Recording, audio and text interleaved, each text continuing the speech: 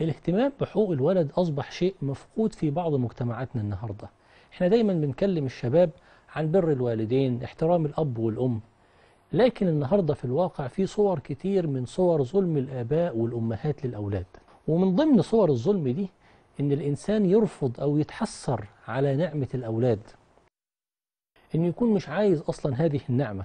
مرة الأشعث بن قيس كان بيقول قال لي رسول الله صلى الله عليه وسلم هل لك من ولد؟ يعني عندك أولاد؟ فقال له لي غلام ولد لي في مخرجي إليك يعني في سفري إليك. ولوددت أن مكانه شبع القوم. يعني وددت أن بدل ابني ده اللي هو ولد أن قومي يشبعوا من الطعام.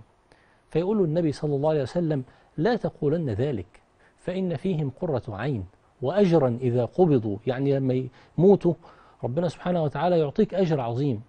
ويقول له سيدنا رسول الله ثم إنهم لمجبنة محزنة إنهم لمجبنة محزنة.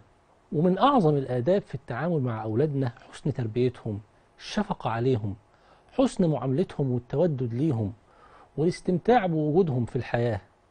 ربنا سبحانه وتعالى بيقول المال والبنون زينة الحياة الدنيا. ويروي سيدنا أبو هريرة رضي الله عنه أنه سيدنا النبي صلى الله عليه وسلم قبل الحسن بن علي وهو ابن بنته السيدة الزهراء رضي الله عنها. وكان قاعد عنده الأقرع بن حابس التميمي فبيقول له الأقرع إن لي عشرة من الولد ما قبلت منهم أحدا. فنظر لي سيدنا رسول الله صلى الله عليه وسلم وقال له من لا يرحم لا يرحم. الرحمة بالولد والعطف عليه في سائر شؤونه والرفق به من أهم المطلوبات الشرعية. ومن صور الظلم للأولاد النهاردة أنه تعلق القلب الشديد بيهم ممكن يكون سبب من أسباب انصراف المؤمن لتحقيق رغبات أولاده حتى لو في الشر وحتى لو منعوه من الاشتغال بما خلق الإنسان لأجله. وكذلك ممكن يكون من مظاهر الظلم للأولاد هو الحرص على جمع المال ليهم بدون معرفة مصدر المال هل هو من حلال ولا هو من حرام. ربنا سبحانه وتعالى كثيرا ما يقرن الكلام على المال بالكلام على الولد في القرآن.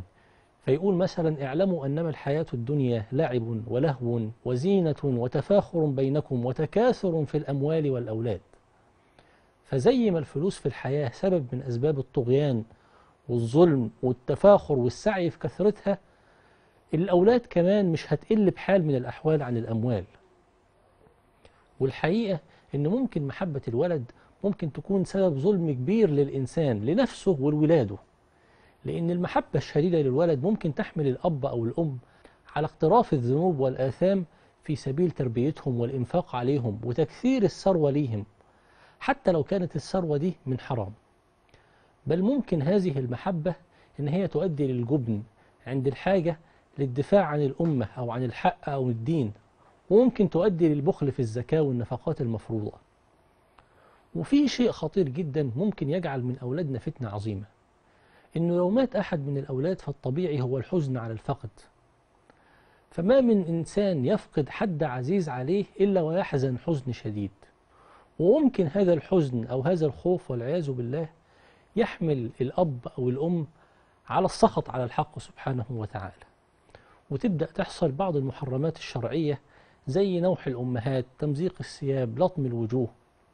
والحقيقة أنه ممكن فتنة الولد تكون أكبر من فتنة المال. الراجل بيكسب الفلوس من الحرام ويأكل أموال الناس بالحرام عشان خاطر أولاده. ولذلك خلوا بالكم يا جماعة أنه من مظاهر الافتتان بالأولاد أن هم ممكن يكونوا سبب من أسباب نشوء النزاع في النفس. يعني إيه نشوء النزاع في النفس؟ يعني يخلي القلب لا يقبل الحق. ربنا سبحانه وتعالى بيقول يا أيها الذين آمنوا إن من أزواجكم وأولادكم عدوا لكم فاحذروهم. وإن تعفوا وتصفحوا وتغفروا فإن الله غفور رحيم. بيروى في سبب نزول هذه الآية أن رجل سأل سيدنا عبد الله بن عباس عن سبب نزولها فقال له كان في رجال أسلموا من أهل المدينة وأرادوا أن هم يأتوا للنبي صلى الله عليه وسلم يعني يهاجروا ليه وأبى أزواجهم وأولادهم أن يتركوهم يعني رفض أولادهم وأزواجهم أن هم يهاجروا.